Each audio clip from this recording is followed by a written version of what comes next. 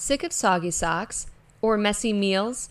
Give you and your dog a break. You need Pet Waiter, the heavyweight pet bowl. Just put water or sand in the bottom and your pet's favorite food in the bowl on top.